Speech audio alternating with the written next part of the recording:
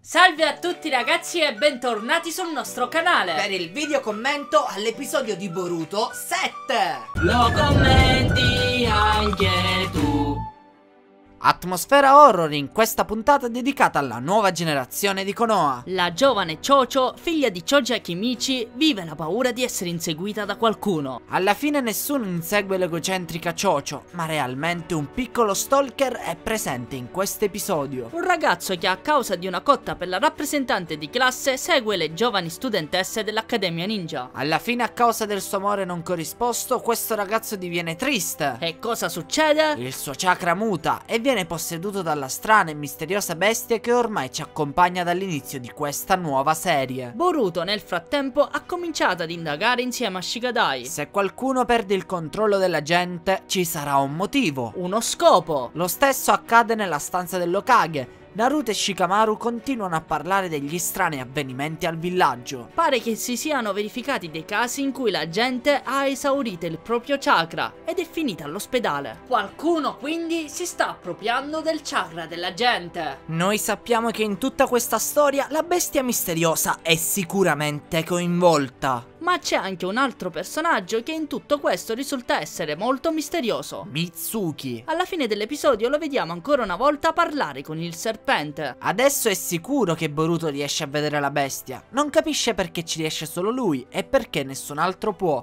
Inoltre pare che il serpente gli sussurri qualcosa. Ma noi non possiamo sentire cosa. Mitsuki quindi è in missione al villaggio di Konoha. Probabilmente dietro il suo compito c'è Orochimaru. È suo figlio. E parla con un serpente. L'ipotesi più accreditata sembra proprio questa. Il compito di Mitsuki sembra quindi essere legato in qualche modo alla bestia. Forse vuole sapere di più sul suo conto.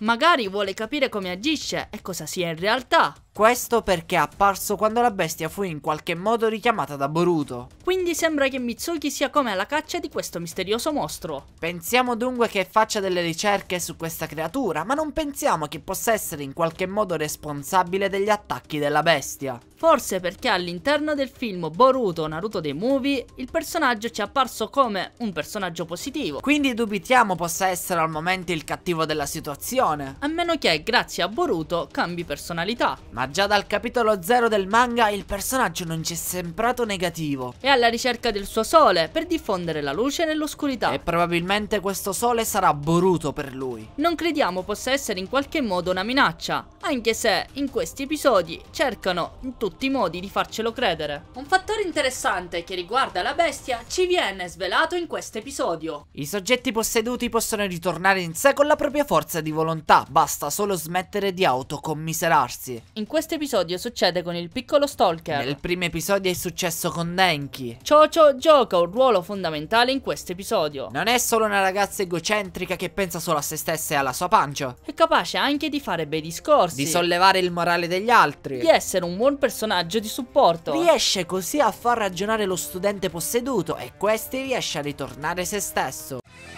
Iscriviti al canale Fandom. Antivideo. Notizie. Commenti. E teorie. Il titolo dell'episodio è Amore e patatine. Ciocio con un pacchetto di patatine riesce a risolvere la situazione più disperata. Perché questa ragazza misura la sua vita e misura le situazioni più difficili con un pacchetto di patatine. È in chilogrammi. Nel prossimo episodio che sarà pubblicato tra pochissimo, intitolato La rivelazione del sogno, vedremo Boruto che ne saprà un po' di più sul Byakugan e farà un sogno strano dentro il quale vedrà una misteriosa persona che gli concede un potere particolare.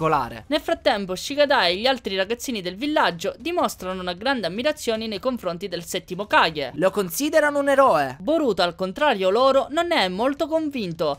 È abituato a vedere il padre sempre stanco. E in un certo senso non crede che il padre sia così tanto speciale. Il 31 maggio andrà in onda invece l'episodio 9, intitolato La mia prova. Boruto in questo episodio si scontra con sua zia, Hanabi Hyuga, che ha avuto un ruolo importante all'interno del film The Last, Naruto The Movie. In questo episodio Boruto vuole essere riconosciuto dal padre Naruto. Nel corso di questa lotta però Boruto non riesce ad utilizzare il suo particolare Byakugan. In questo modo non riuscirà a dimostrare alla sua famiglia di possedere un potere particolare. Dell'episodio 10 sappiamo invece solo il titolo. Che sarà Incidente con il fantasma. Ecco, queste sono le sinossi che sono state pubblicate in Giappone. Per quanto riguarda l'abilità oculare di Boruto, Quest'ultimo possibilmente non riesce a dimostrarla alla famiglia perché né nel film né nel manga ancora la possiede. L'abilità di Boruto è infatti una caratteristica inedita L'abilità di Boruto è infatti una caratteristica inedita del personaggio che vediamo all'interno di questa saga originale e non tratta dal manga. All'interno del manga questa abilità Naruto ancora non la possiede,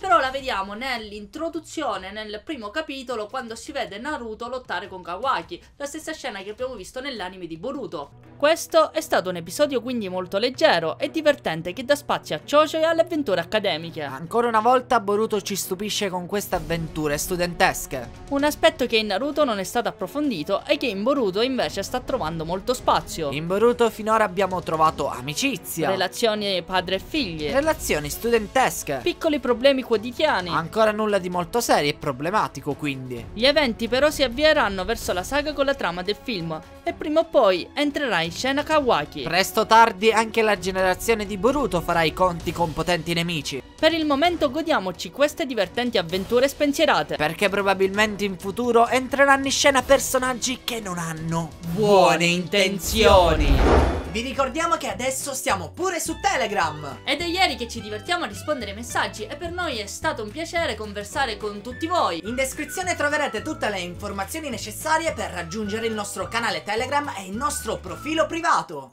Ma le notizie non finiscono mica qui! Domenica 4 giugno saremo all'Etna Comics di Catania e all'interno della YouTube Valley potremo gestire una conferenza intitolata Da Dragon Ball a Dragon Ball Super. Due generazioni a confronto! Quindi se quel giorno sarete all'Etna Comics fate un salto alla YouTube Valley alle ore 10. E mi raccomando veloci perché l'Etna Comics apre alle 10, quindi Eccoci giunti alla fine di questo video. Vi ringraziamo per averlo visto. Se vi è piaciuto mettete un bel like E condividetelo con un amico appassionato di Naruto e Boruto. Se volete rimanere aggiornati sui prossimi caricamenti iscrivetevi al canale e seguiteci su Telegram, Twitter, Instagram e sulla pagina Facebook. Alla prossima!